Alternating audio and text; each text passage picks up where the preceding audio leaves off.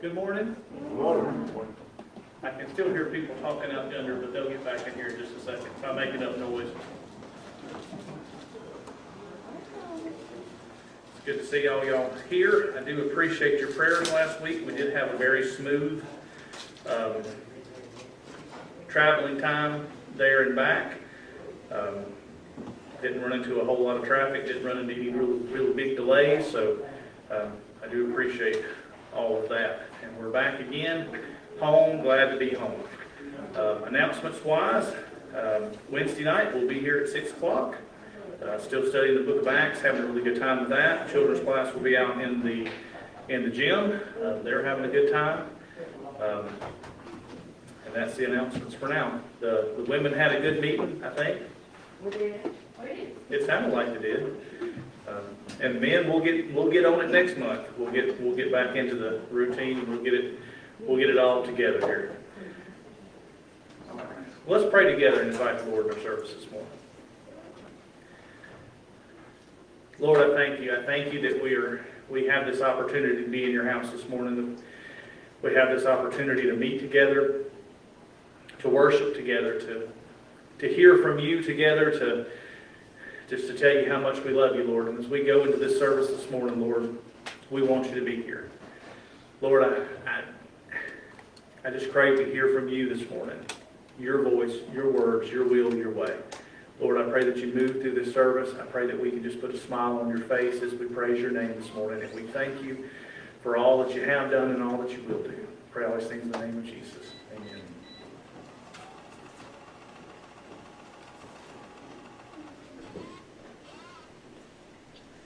Good morning. Let's turn to page 195. 195.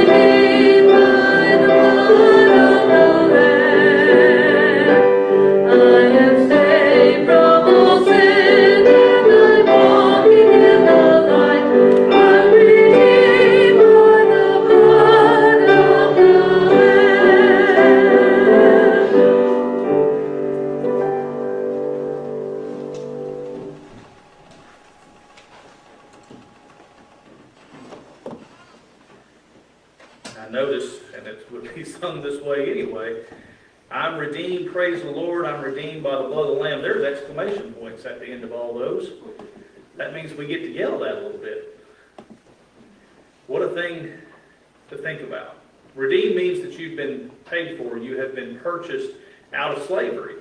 A lot of times in the Bible, they would, they would talk about redeeming someone. Uh, Hosea redeemed Gomer, his wife, um, who had was on the, the auction block to be sold as a slave.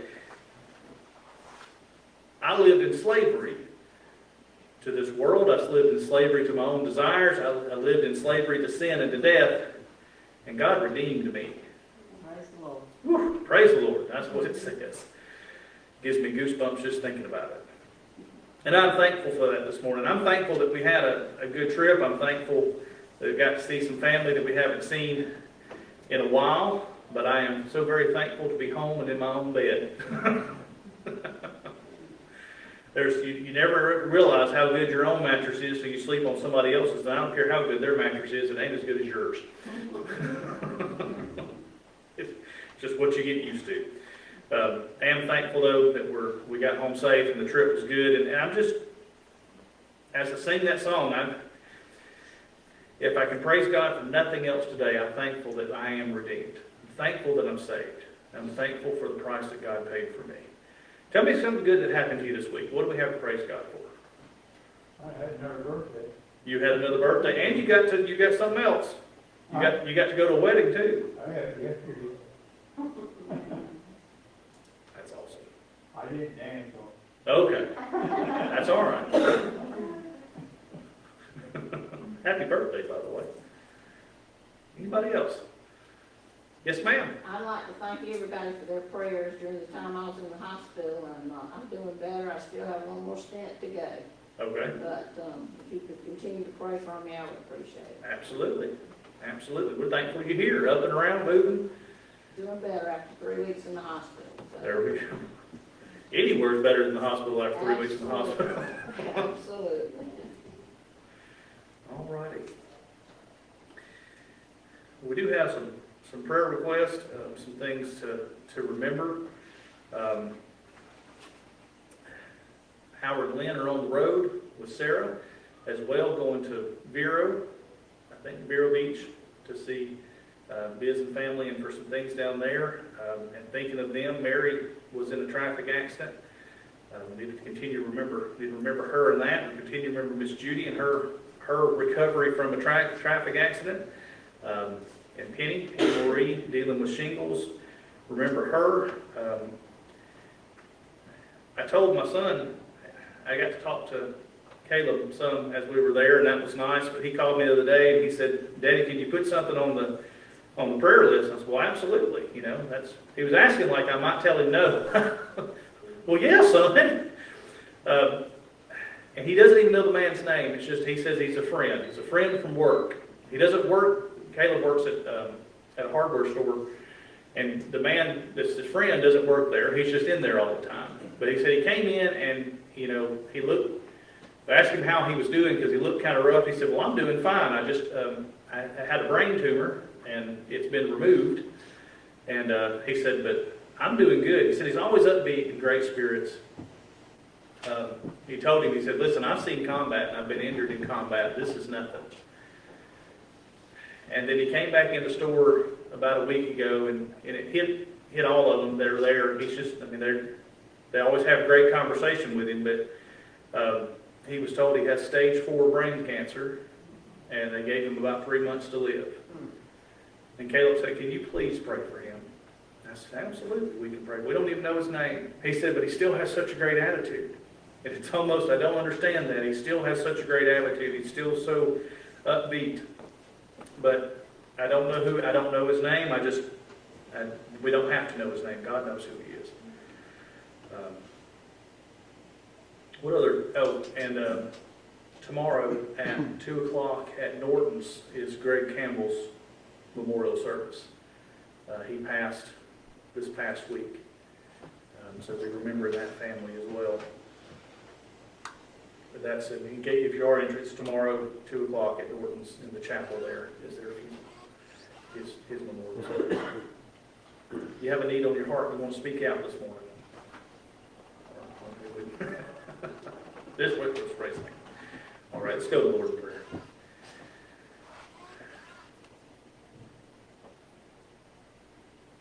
Lord, I thank you. I thank you for salvation. I thank you.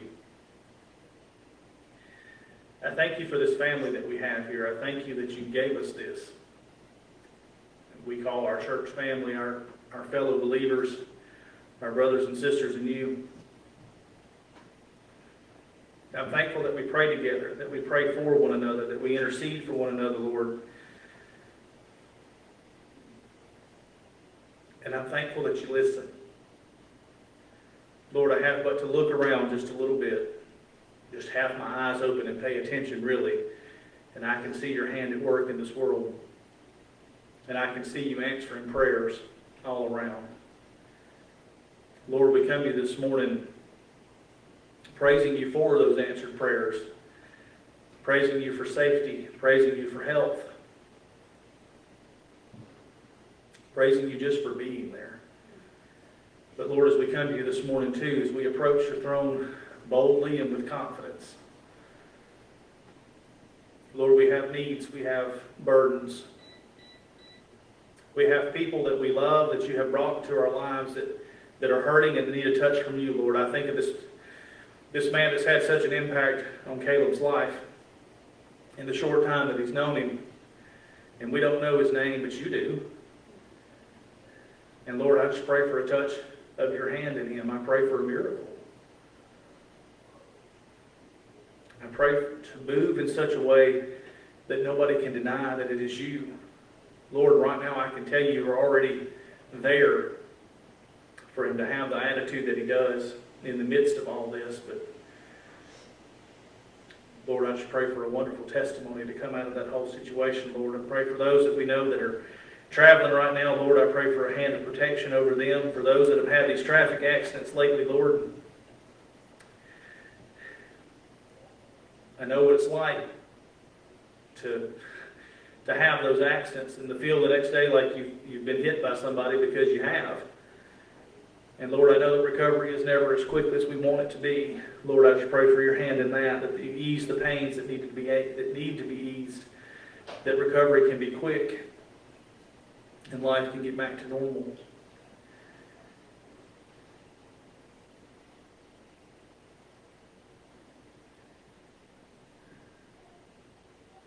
Lord, I pray for your hand in this world. We have physical needs. We have ones that we know that we have loved that have, that have now passed, Lord. And for those that are left behind, I do pray for comfort on them. But Lord, I just pray that you lead and guide this church, that you lead and guide this world, that people just begin to pay attention to you and your hand and what you're doing. That we begin to pay attention and hold on to you. Lord, as a church, I just I pray that you continue to lead and to guide us, to show us the next step and the next thing and, and what we need to do. Lord, I pray that we are prepared and that we are we have the strength to keep moving, to keep following after you. The clear vision to see what it is that you're doing. Lord, I pray for each and every individual in this place that is redeemed. That as we leave this place, that we live our lives in such a way that there is no doubt of that. That we love those that are around us, that we, we show you to a world that is looking for something. And Lord, I know in my heart that they're looking for you. They may not know it, but they are. Lord, I, I just pray for those needs, those spiritual needs, those soul needs that are so much more important because where we spend eternity is so much more important than, than the little bit of time that, we, that we're here. Lord, I just pray that you be with us in the rest of the service, that, that we hear from you. It doesn't matter what words that I say this morning, Lord. I just pray that it is your spirit, your voice that we hear as we go through this time together. Lord, I thank you for all the answered prayers. I thank you that we can see those. I thank you that you allow us to see your hand moving in that. I thank you for the things that you're doing right now that we don't, don't know. We don't know what they are. We, we just know we can have confidence that it's going to be, it's going to be great. It's going to be good because you were good. And Lord, I just thank you for all those things that you're going to do in the future. I give your name all the praise and the glory forever. And I pray all these things in the name of Jesus. Amen.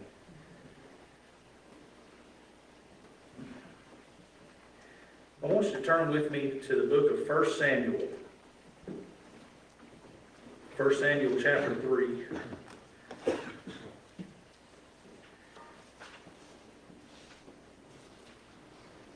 And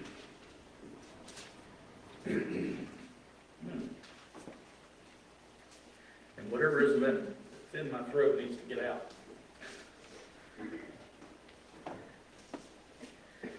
We're we begin reading 1 Samuel chapter 3 right at the beginning of the chapter in verse 1.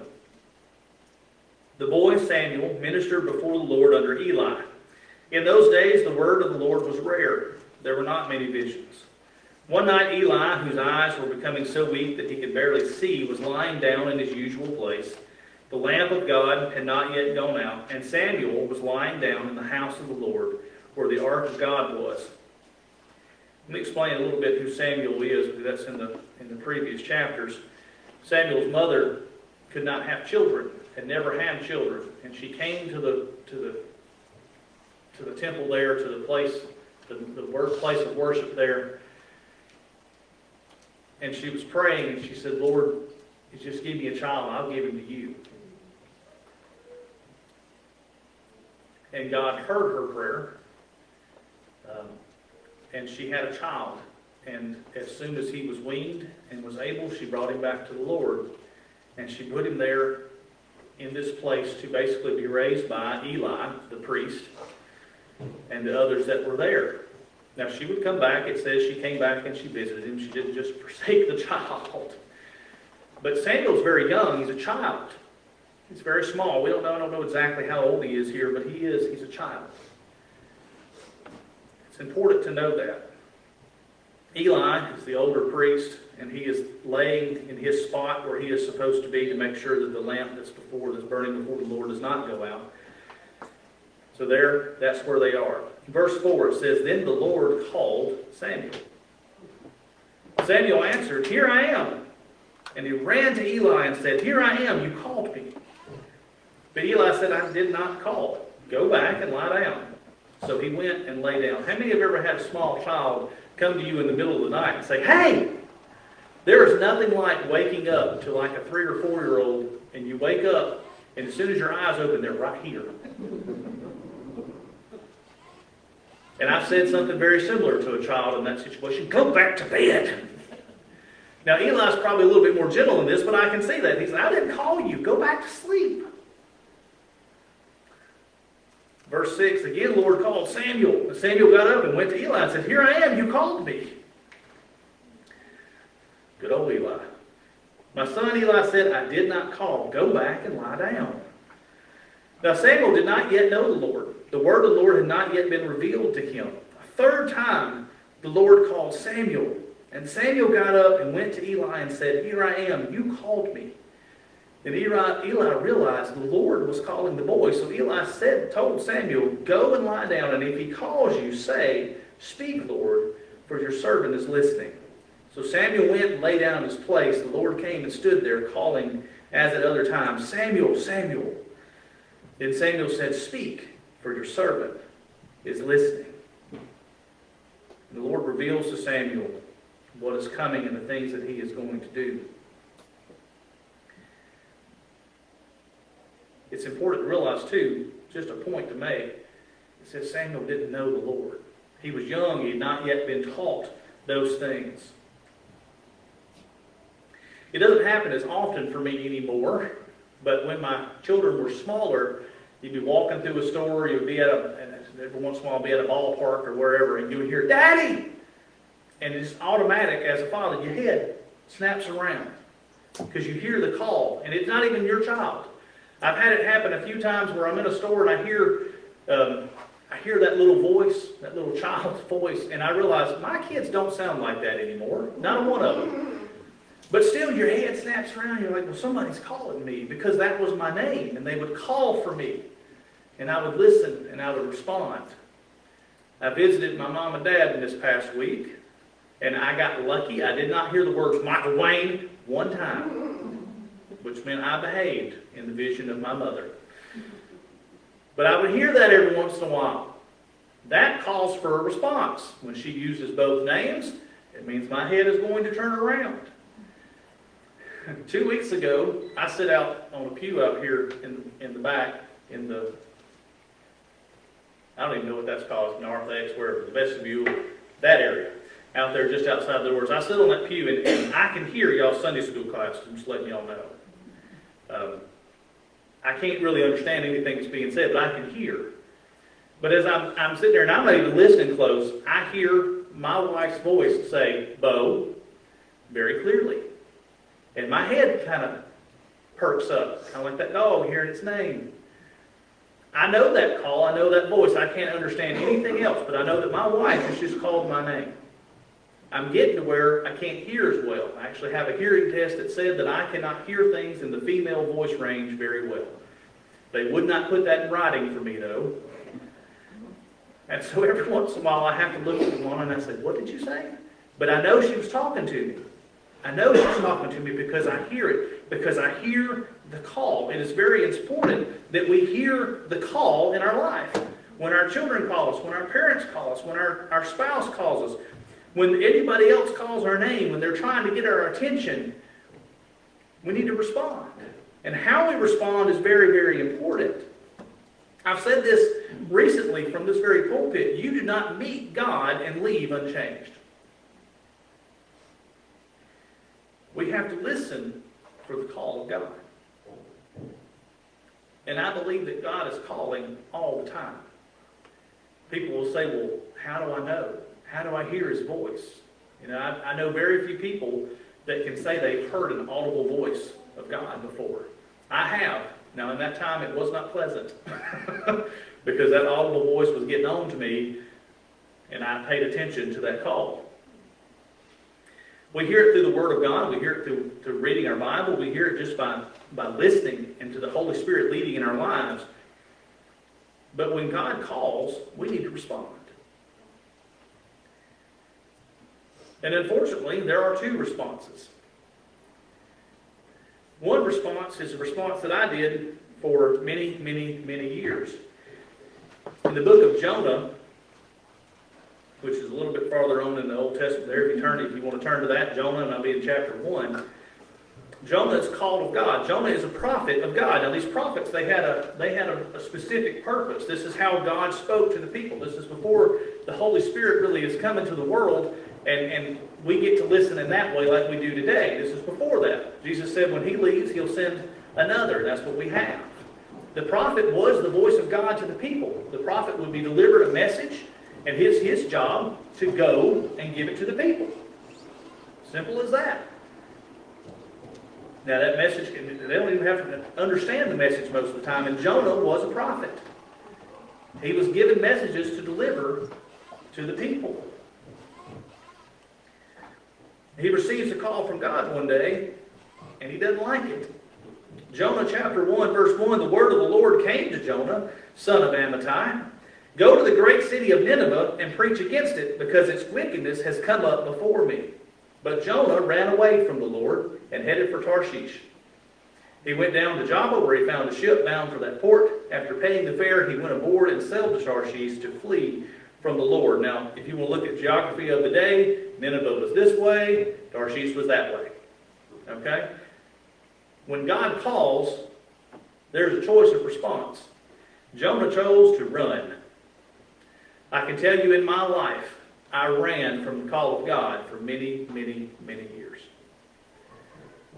I remember sitting, it's enclosed now, but basically on the back patio of my parents' home, talking to my dad and said, Dad, I really think I feel a call to ministry. I was in my in my early 20s.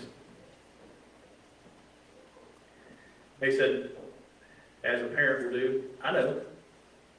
So annoying.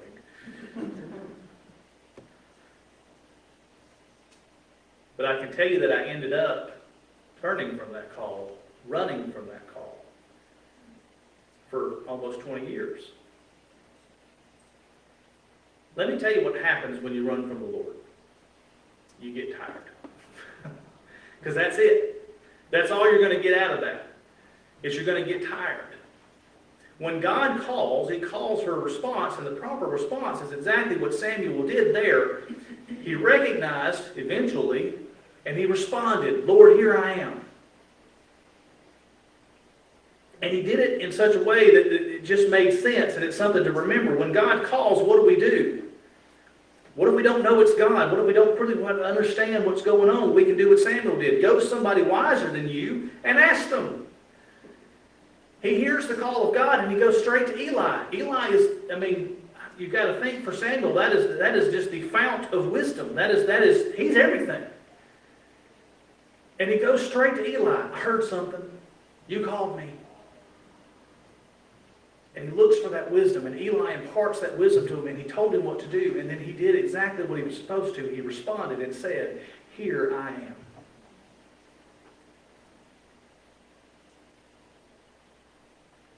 I think there's something to the fact also that he was a child. Jesus said one time, Lest you be as his children, do not enter the kingdom of heaven. What does that mean? Does that mean that I'm supposed to be small and immature all my life? Well, I've, I've pretty much accomplished the immature part most of my life. But that's not what it's calling for. Samuel never questioned. It was simply, okay. As I get older, I find that I question, Lord, is there not somebody better suited for this task than me?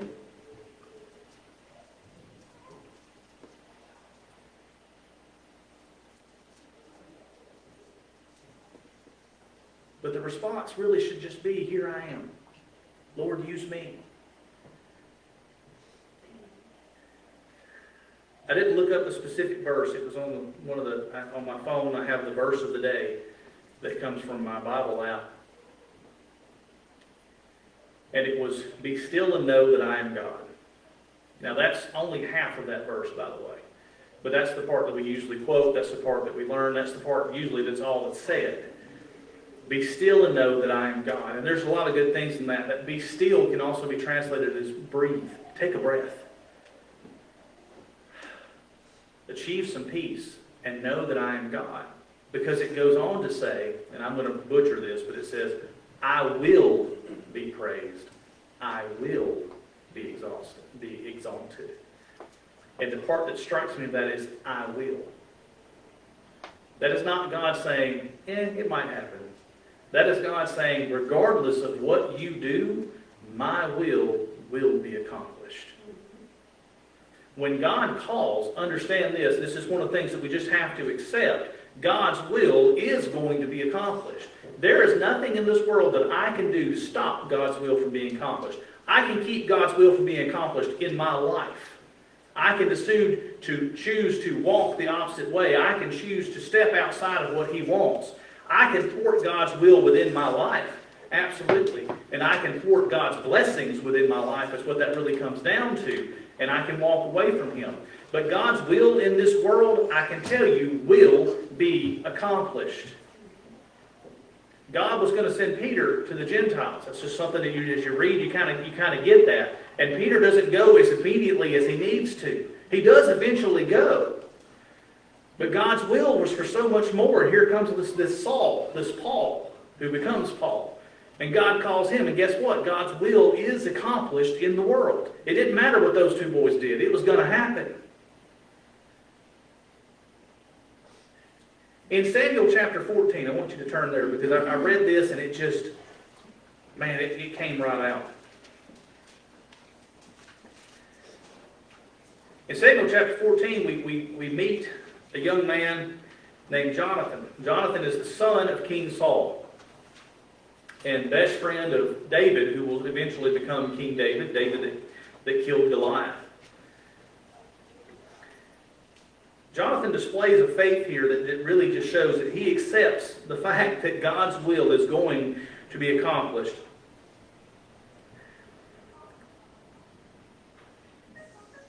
Samuel chapter 14, verse 1. One day Jonathan, son of Saul, said to his young armor bearer, Come, let's go over to the Philistine outpost on the other side. He did not tell his father. Saul was staying on the outskirts of Gibeah under a pomegranate tree in Migron. With him were about 600 men, among whom was Ahijah, who was wearing an ephod. He was a son of Ichabod's brother, I'm not even going to pronounce that, son of Phinehas, son of Eli, the Lord's priest in Shiloh. No one was aware that Jonathan had left. On the east side of the pass that Jonathan intended to cross to reach the Philistine outpost was a cliff. Let me go down a little bit farther. Verse 6. Jonathan said to his young armor bearer, I want you to understand, it's just Jonathan and the armor bearer. And the armor bearer is also a, a warrior. These two guys have been trained to fight. They're, they're skilled in what they do. But there's just two of them. And he gets the bright idea. Let's go along and, and, and attack this outpost. I can tell you this outpost had more than two people in it. Okay? We're not talking about a little bit. We're talking about a lot. But Jonathan said to his young armor bearer, Come, let's go over to the outpost of these uncircumcised fellows.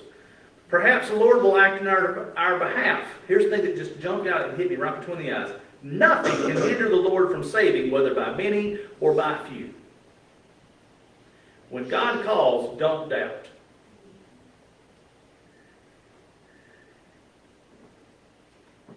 This response, this idea of responding to God, comes with a couple of things that go along that just help us out. One, you just have to accept that God's will is going to be accomplished. Jonathan understood that God's will was going to be accomplished.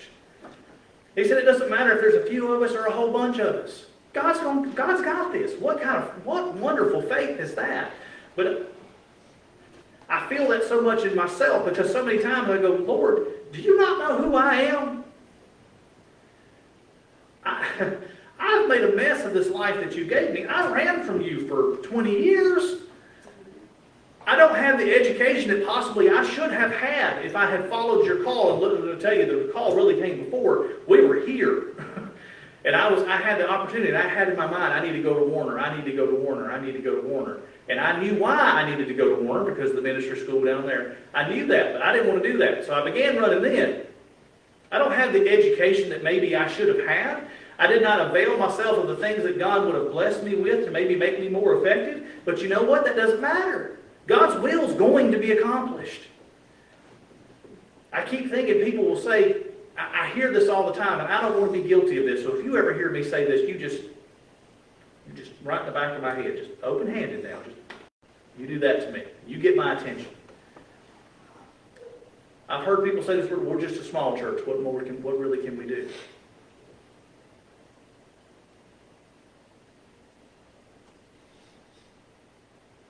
We got the wrong thought process there. It's not what I can do, it's what God is going to do.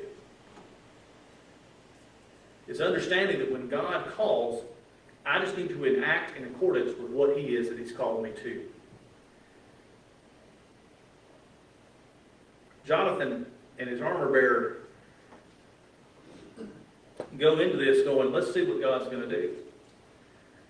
They go into this I can only imagine that it's the call of God that, is, that has brought Jonathan this idea that, hey, I'm going to take this one guy that's really close to me. My armor bearer would have been the closest, one of the closest people to him.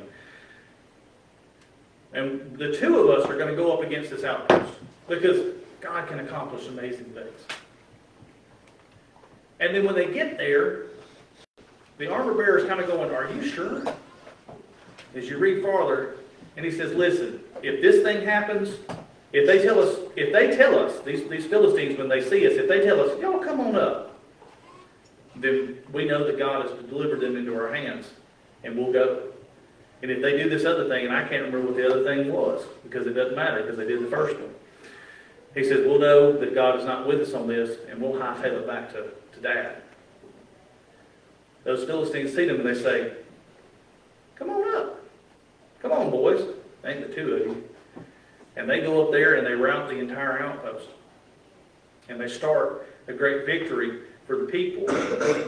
Except when God calls, and I would leave you this, when God calls, accept that God's will is going to be accomplished.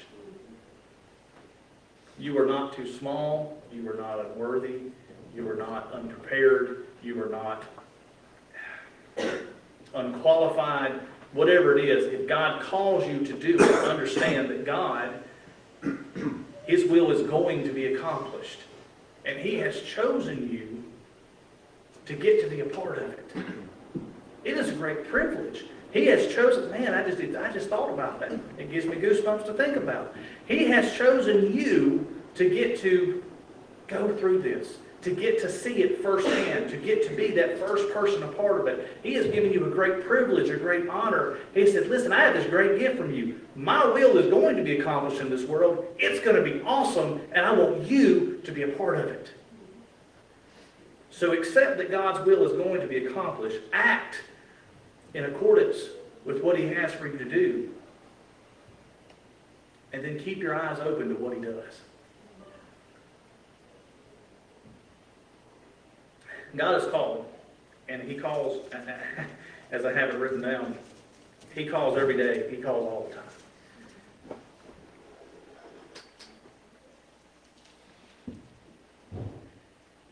And we have but to respond to it. And we have two choices in that, yes or no. But man, what we miss out on when we tell him no. Let's pray together.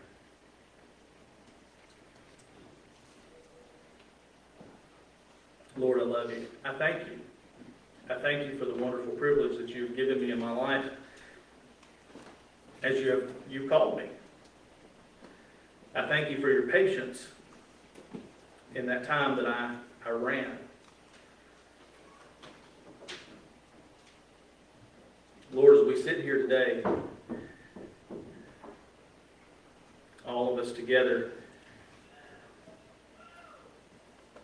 you just got to I know, I have faith that there's, there, there are some here today that are hearing a call from you. A call to act, a call to, to accomplish your will in this world, Lord. Lord, I pray that they answer, here am I. Lord, for those right now that aren't hearing that call, that aren't, it's just not our time yet.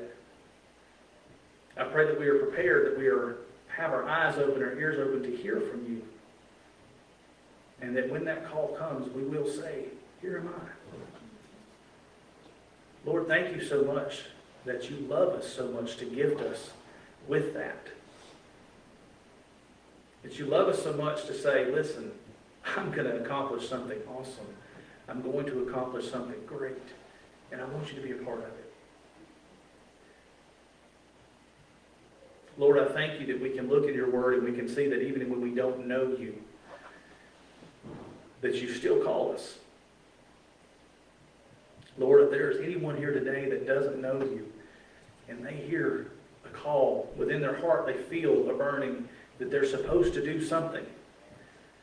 If they're hearing from you, Lord, I pray that they find somebody to help them interpret that call. I hope that it becomes clear and Lord, most importantly, I hope they respond to that call. They respond, here I am, here I am. Lord, forgive me. Lord, love me. Lord, lead me and guide me because I am yours.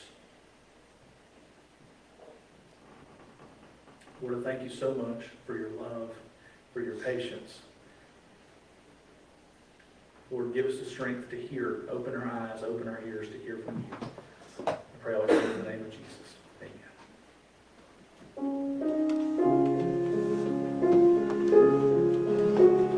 four oh two, four oh two.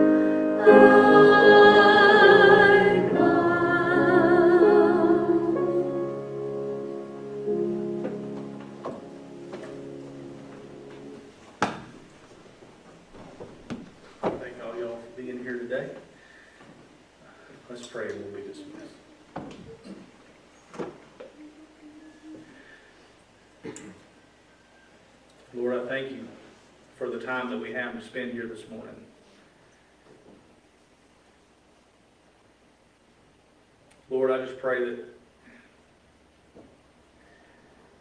that we don't run, that we don't wait, that we hear from you and we follow after you.